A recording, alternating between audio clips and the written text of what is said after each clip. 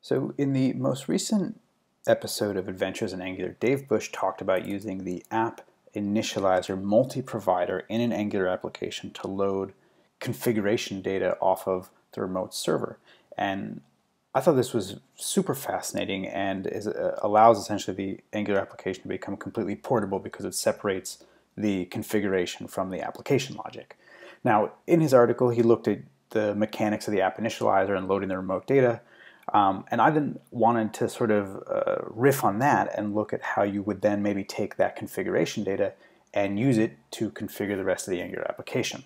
So as a uh, test case for this, I wanted to leverage the IP info API, which is a remote API uh, that allows you to geocode IP addresses. So if I hit enter here, you can see it goes out to the IP info IO and it uh, gets information about this IP address, right? If we look in here, we can see that it has geolocation information.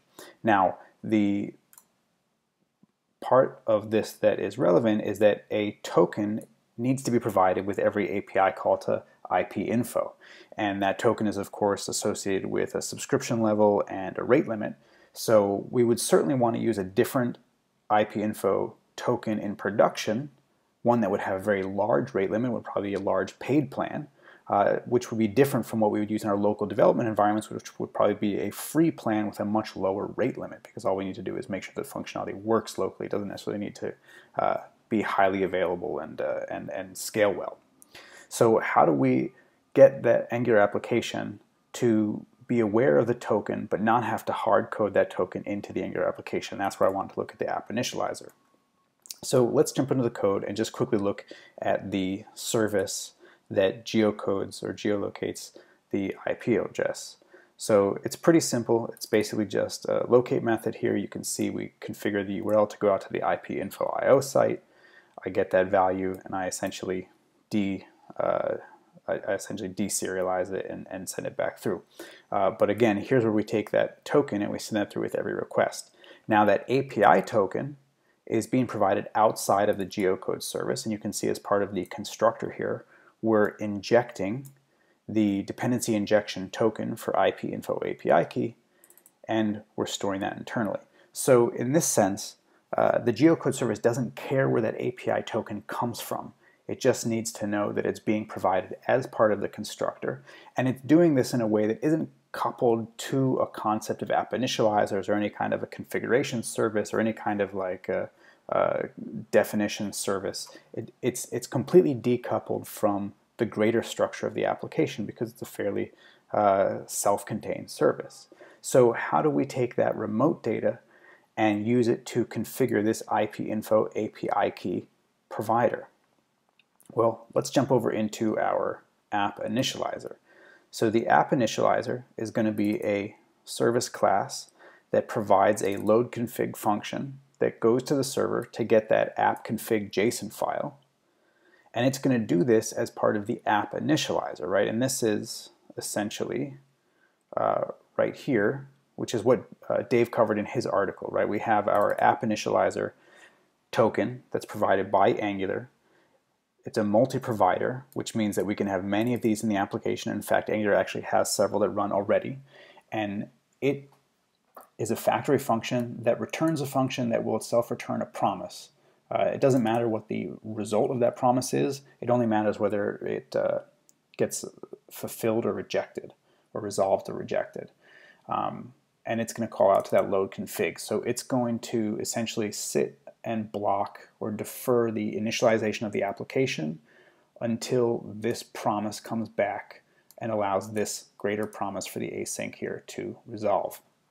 Now, the beautiful part about this is that all this is doing is loading the remote configuration into this public property of my app initializer. Now the app initializer is both the provider of that load config method, but it's also going to be the provider of a service within the greater Angular application, which means that after we've provided our app initializer, we can provide our IP info API key token and then use the application initializer as a dependency for that factory function. So this factory function can then take that app initializer, pull out the config that we loaded from the remote server, pull out the IP info section, and then provide the API token as, again, this IP info API key. This is then the dependency injection token that the geocode service is using to uh, define its constructor signature. Now, this works because the Angular dependency injection container performs lazy evaluation, meaning that it won't attempt to instantiate a service until it's actually required by the application.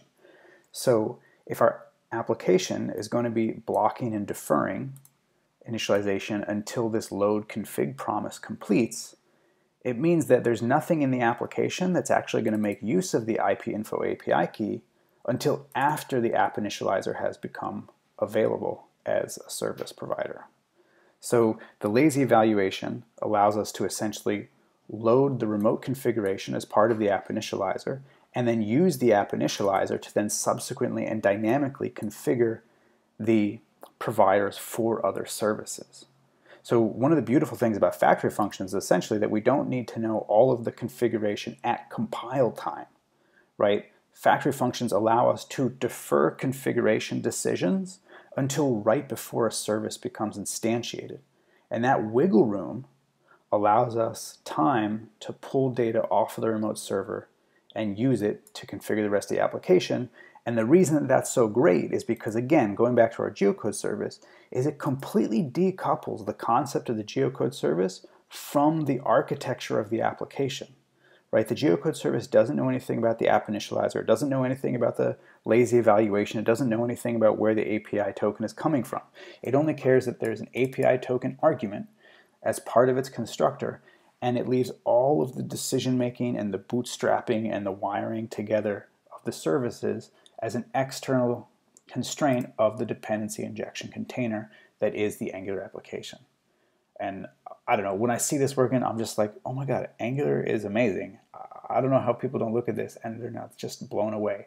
So um, I guess as a final thing, uh, I would just point out that my app initializer file here exports this uh, array of providers and then inside the app module, uh, I'm just including that array of providers into the, uh, to the modules here. And again, just going back to the app here, I can come in here, I can change these things and you can see that uh, this is in fact a live demo doing actual things. So um, anyway, uh, I just wanted to build on top of Dave's app initializer exploration for the remote configuration and really take his his thought work and and extend it to then say well now how do we take that configuration data and actually merge it into the application such that we can keep our services well uh, well decoupled, uh, but also dynamic based on the remote data.